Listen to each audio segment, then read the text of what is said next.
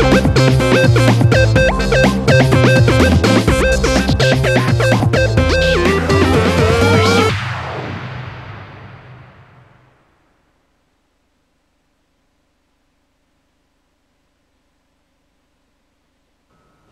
Ben ritrovati un'ampia pagina dedicata alla volley in questa edizione di Azzurra Sport. Iniziamo con la presentazione ieri sera la pala Igor di Cristina Barcellini che torna a vestire la maglia delle Novaresi dopo gli anni dell'Asiste. La sentiamo.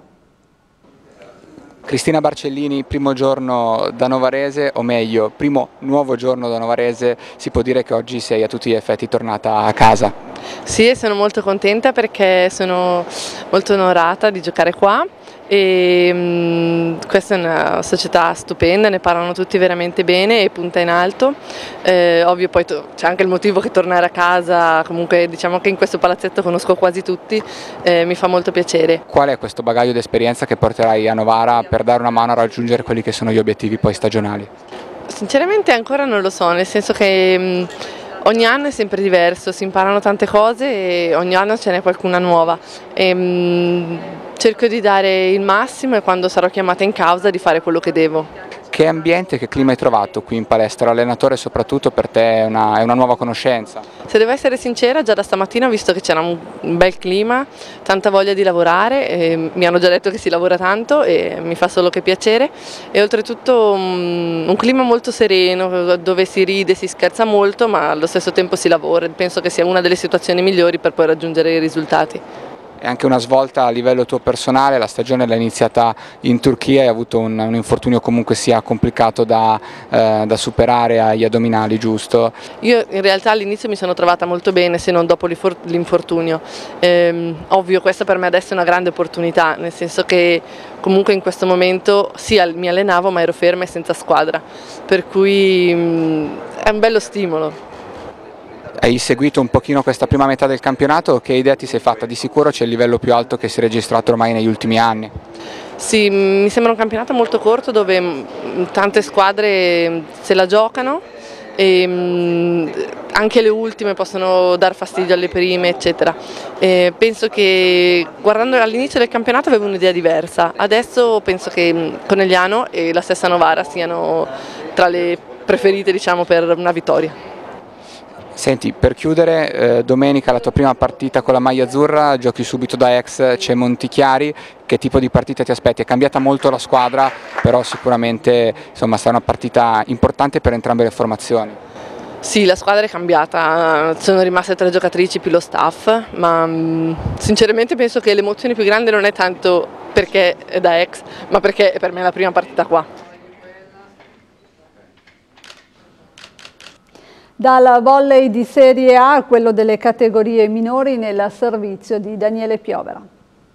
Il Palamanzini continua ad essere terreno scomodo per l'avversario di Altea in questo campionato. Il Fortino Verbanese regge l'urto e regala soddisfazione al team allenato da Alberto Franzini.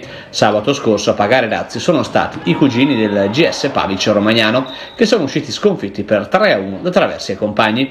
Una vittoria importantissima per Altea che guadagna altri tre punti e mette nel mirino le prime posizioni della classifica.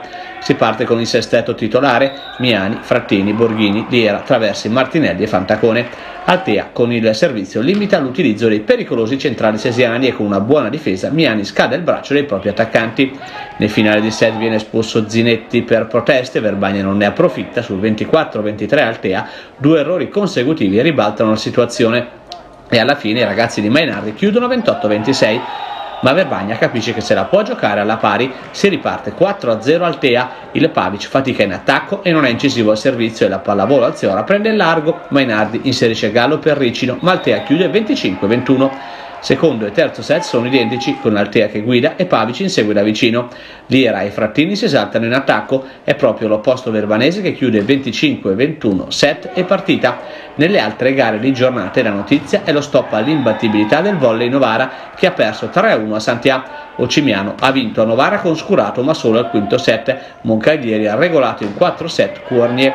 Colpo esterno invece di Austa Chieri. Verbania dunque ha sempre nel mirino il quinto posto, ancora di più, dopo i due mezzi passi falsi di Ocimiano negli ultimi 15 giorni, due vittorie ma solo al quinto set contro penultima e ultima della classe.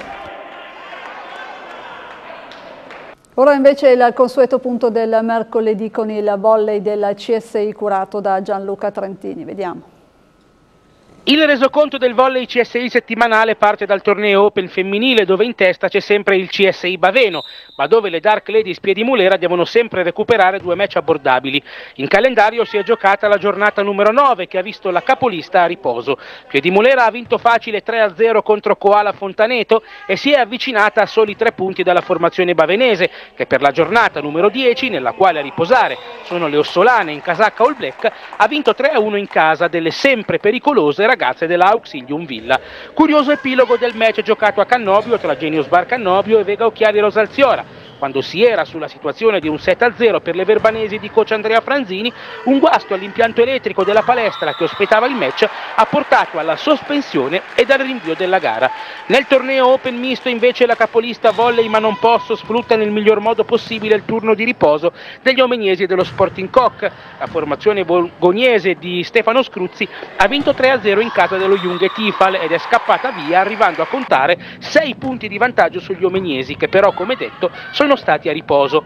Il TD Volley di Verbania si mantiene terzo col successo al tie break in casa di Villa Volley a portata di tiro per gli omeniesi del Volley 02 che nella serata di domani affronteranno il fanalino di coda Misto Vogogna ed in caso di successo con qualunque risultato sopravvanzerebbero il gruppo lacuale del team manager Andrea Garegnani. Nei tornei giovanili rimane tutto invariato, domenica 22 gennaio torna il circuito provinciale CSI di mini volley con la tappa organizzata a Vogogna dalla US Vogognese, inizio delle partitine alle 10 e conclusione alle 16.30. Chiudiamo con la volley per aprire sul ciclismo. È ufficiale Marco Della Vedova è il nuovo direttore sportivo della formazione eh, bergamasca juniores del team LBF. Il mergozzese, anche ispettore di percorso e membro dell'organizzazione sportiva di RCS Sport, ha siglato ufficialmente un accordo con eh, una formazione che si propone di essere da subito competitiva con Della Vedova. Passano al team LBF anche Samuele Rubino, cosa che era stata ampiamente annunciata già al termine della scorsa stagione e con lui anche Fausto Barone.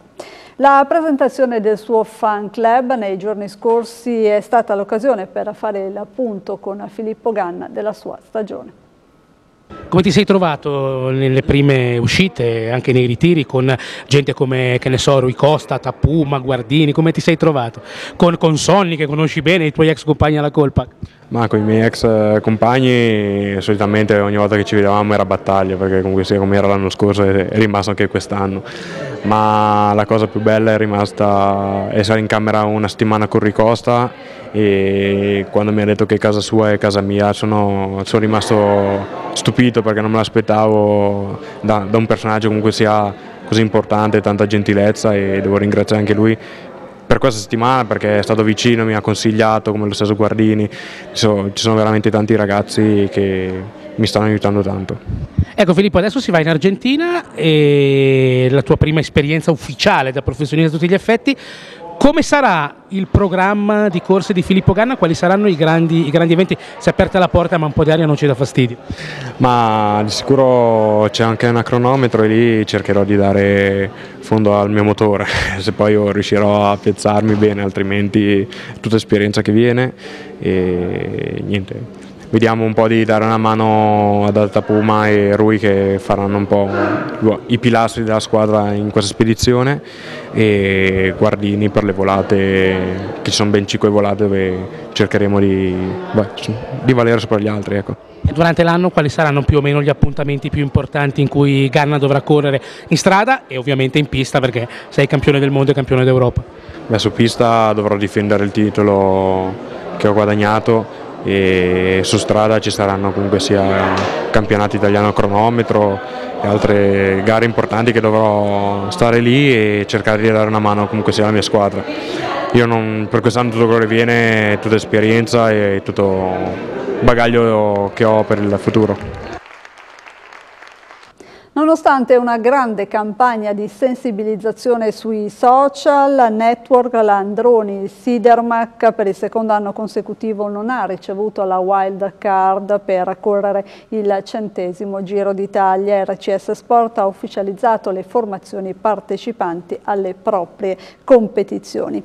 Finiamo ora con gli sport d'acqua. Sabato 14 gennaio presso la sede CONI di Milano si è tenuta la premiazione dei migliori belisti della quindicesima dodicesima zona, una giornata diversa per gli atleti della squadra agonistica del Circolo Velico Canottieri Intra che hanno avuto il riconoscimento del CONI per i risultati ottenuti nella stagione 2016. È stato Fabio Mazzoni, presidente zonale, a fare gli onori di casa e dopo una breve introduzione ha premiato gli atleti che si sono contraddistinti nell'ambito zonale italiano, europeo e mondiale. Premiato Gabriele Besozzi, terzo nella categoria laser standard, Andrea Ribolzi secondo nella categoria ra, eh, laser radial per i risultati ottenuti ai campionati europei mondiali, Lucia Nicolini per i risultati ottenuti ai campionati europei mondiali laser.4, Pietro Langosto, primo laser bug race e la piccola Aurora Pani, seconda al laser bug XS. Questa era l'ultima notizia della eh, nostra Azzurra Sport. Io mi fermo qui, vi lascio i programmi della rete, vi ricordo tutti gli aggiornamenti, tuttonotizie.info. Grazie, buon proseguimento.